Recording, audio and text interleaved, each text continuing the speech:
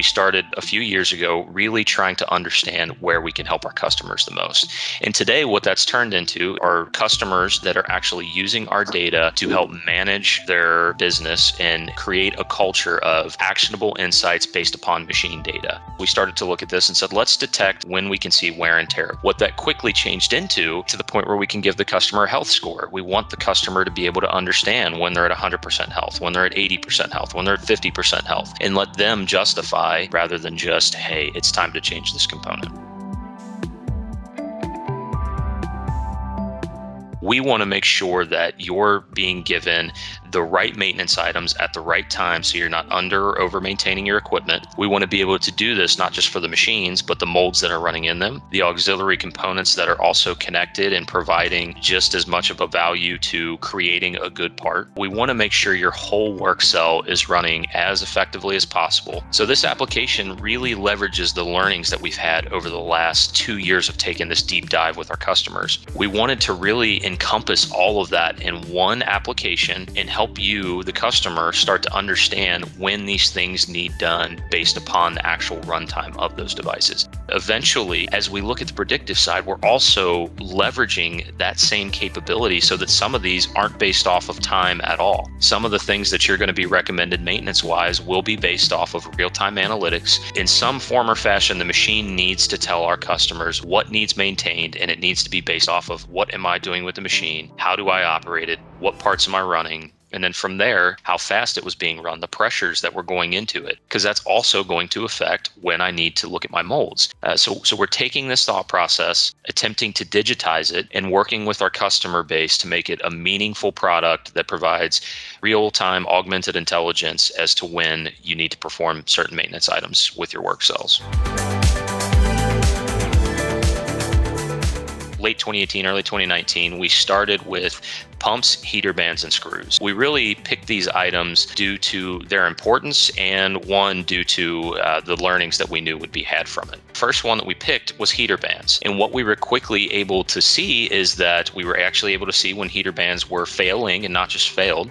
The second component is the, the Symphony or the, the pump sensor that we use to analyze and detect real time changes in state of the pump. What makes this unique is that we've designed this sensor with our partner EI3 to cover a large frequency range, which most sensors off the shelf do not do. Certain failures do provide a unique pattern. We had a customer on July 4th, the pump was acting normally. From the July 4th to the July 10th timeframe, we could see that change of pattern and that change state in one of the higher frequency ranges that frankly some of the sensors on the market do not get to. We saw this change and we we monitored it, we flagged the customer. They had put one on order a couple days before this due to the the analytics and the things we were passing to them. So we've actually trained this model and we could have seen 3 weeks in advance some of these start to occur. We've had customers 3 plus weeks in advance detect this same thing. It's allowed them to get pumps on order, have them sitting in stock and when they wanted to change them change them out and avoid costly costly downtimes altogether.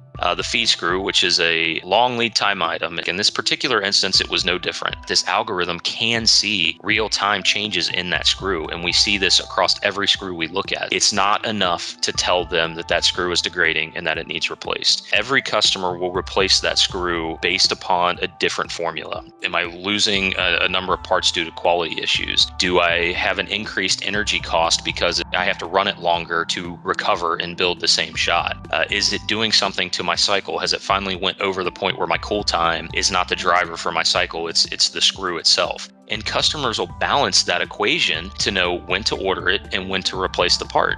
We've given our customers not only the actionable insight of your screw is wearing, it's here's how much it's costing you to run that screw, and here's what it's doing to your cycle. We're looking at not just the screw itself, but the screw tip assembly. You'll start to see quality defects as this component wears it means a lot when you look at quality. Being able to tell real time without an RJG system or something else that this process is repeatable, we've learned is very critical for a large majority of our customer base. So our system will real time collect that high frequency curve and it will build without somebody touching it a operating range of what we'd expect to see for a particular part that's being made and it will tell you if shots are starting to deviate out of that standard operating range. You can combine that with your scrap data and say hey, this component is pretty cheap. Probably makes sense that during our next downtime that we add this to the to the list. And this again is one of the reasons we're taking that data and converting those standard maintenance items into to real insights based off of machine information coming back to us. Evolving the screw, evolving the screw tip assembly, the heater band, a component you wouldn't think that is, is something you need to look at, how that can change when you start looking at the energy and the cycle effect. What we've actually found is that customers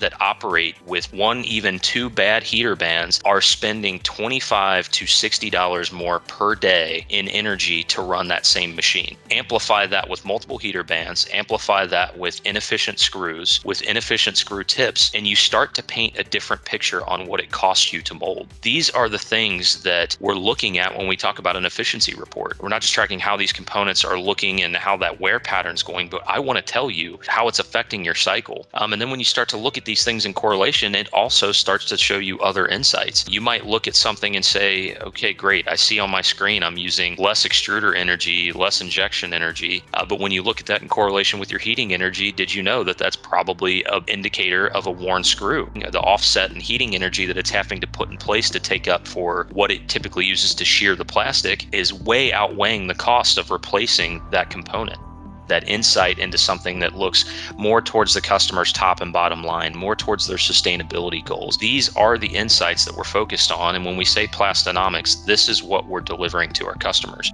Plastinomics is all about understanding the economics of molding, understanding what each individual customer is trying to do with today's environment, and making cost effective decisions based off of how you, as a unique individual, are operating and using that machinery. They can make the, the best decision possible for the top and bottom line while keeping their sustainability goals uh, and productivity in mind.